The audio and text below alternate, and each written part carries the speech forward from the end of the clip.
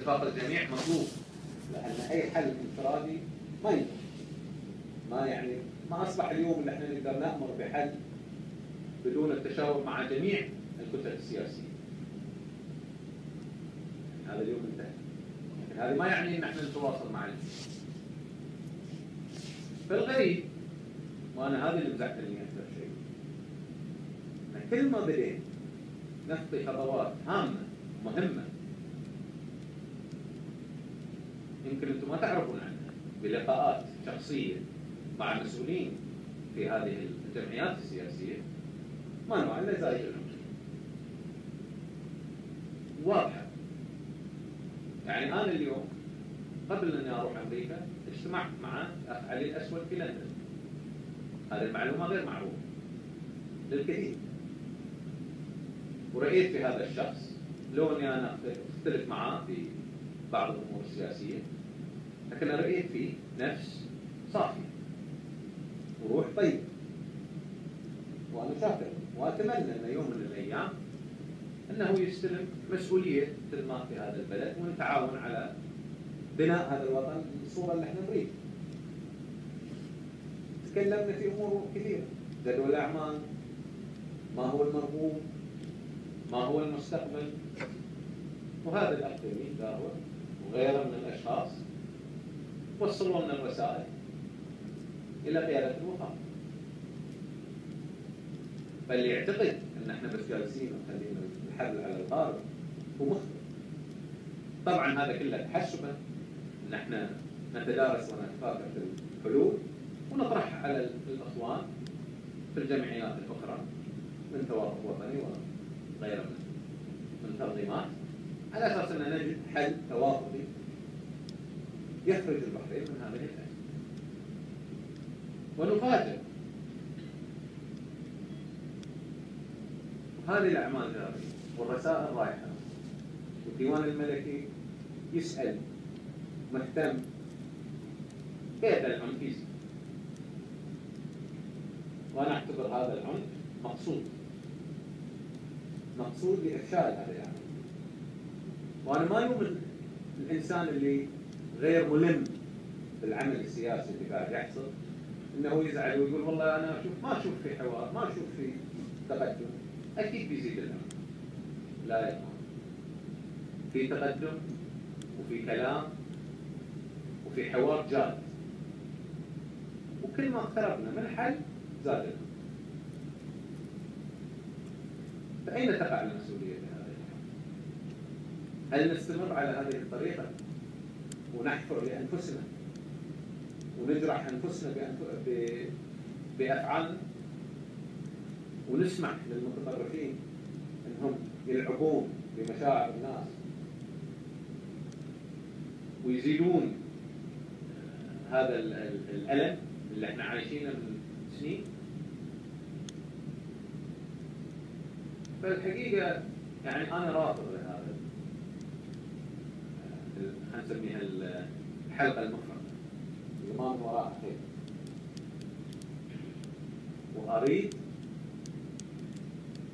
أن كل الأوراق توضع على الطاولة وأن الكل يدرك أن هذه سياسة اللي إحنا مستمرين مستمرين فيه أو واقع اللي إحنا مستمرين فيه لا يمكن أن يستمر. لا يمكن. ملت والخطورة على المجتمع أكبر الآن أصبحت. كانت عليه في أي وقت الماضي فما هو الحل؟ ما هو الحل؟ الحل أولا أن نتكلم بصراحة. وإذا في كلام بين الجهات والأطراف نعلنه على أساس أن ما حد يترمي زايد ويشكك وفي نفس الوقت إحنا نبي نستمر ونهدئ الأمور ونوقف العنف. في منادات الاشتراك في عمليات ممكن تثير الآخرين. من حركات فيها تمرد ولا حركات فيها تشكيك ولا حركات فيها تضخيم لبعض الأمور؟ هذه لا يجوز. إيه يعني؟ فكفايه يعني فقدان حقيقة للفرص. وللأعمال وللأرواح وللقيم وللأمان. كفاية. القانون سيسري على الجميع هذه واقع. لكن لازم يسري بعدها. هذا يعني أنا طلب ومن منصبي كولي عهد أنا أجيبه دائما وتصور لي أن العمل الدؤوب الصحيح الفعلي على إيقاف هذا العمل العنف المسامحة اللي موجود في المجتمع يجب أن يكون مسؤولية الجميع. خلاص. لأن مستقبلنا الآن مهدد. وغير عن ذلك يجب على أساس أن تصفى النفوس أن يصير احتدام من جميع الأطراف هذا ما لأن الكل يعتقد أنه حقوقا مجني عليه فإذا هو إهانة أنا ما عندي خوف أن أنا أعتذر. أو تسمحون إذا أحد حس بإهانة. أو إذا وظيفة فقدت ما يهمني أن أنا أعتذر. إذا قضية سلبت أنا أعتذر إذا روح خسرت نعم وهذا اللي أتمناه من القيادات والجمعيات السياسية إنهم يكونون قد المسؤولية في هذا الوقت. لأن الحقيقة المطلوبه الآن هو الدفاع عن البحرين وليس الدفاع عن فئة معينه مستقبلنا المشترك أهم من كل شيء. وإحنا طول عمرنا ربينا في مجتمع في عدة مذاهب طوائف وألوان وأشكال. وإذا استمرينا في هالطريق عيالنا إيش بيربون؟ بيشوفون؟ بيتعودون على الكراهية والشك. وهذا يعني شيء غريب علينا. لازم ما يخفف فهل القيادات الموجودة قادرة أن تقوم بهذا؟ هل عندها الشجاعة؟ مو بشجاعة الطلب بالشهادة أو شجاعة طلب بالسجن، إيش بيفيدون إذا في السجن؟ إذا هذه أمنية الشخص أنه يكون في السجن معناته أنه ما له نية أنه يخدم في المجتمع. عاد قاعد السجن ندور غيره.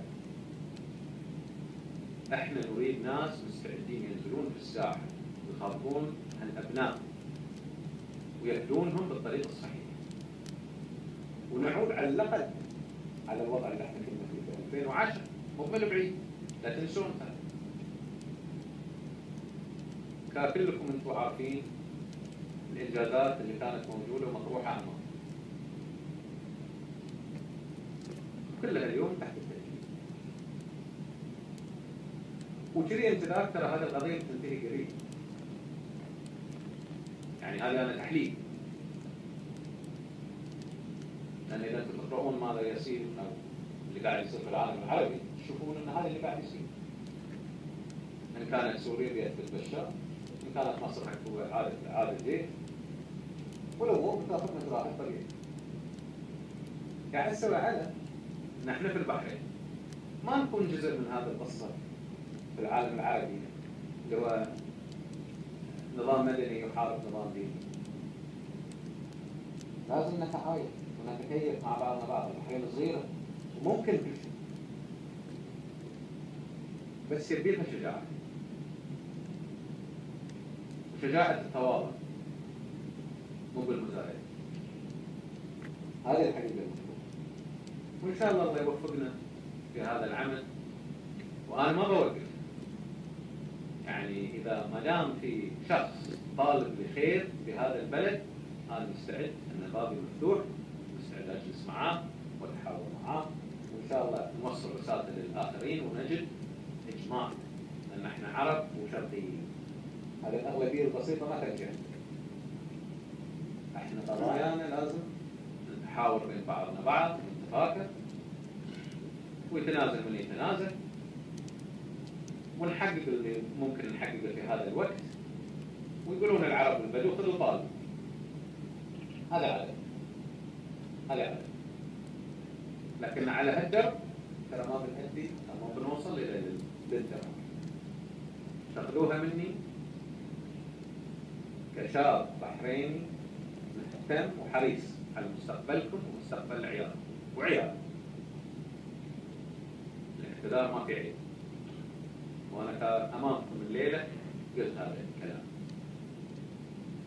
وإذا أي أحد حس إنه وطنيته أو جنسيته أو طائفته سببت له أي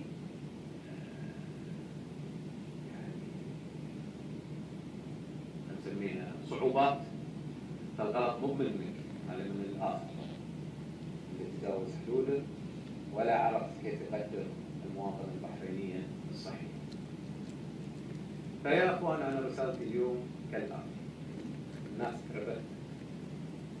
الأمور ممكن إنها تسيء في أي لحظة. إلا إذا يعسر العالم يستيقظ.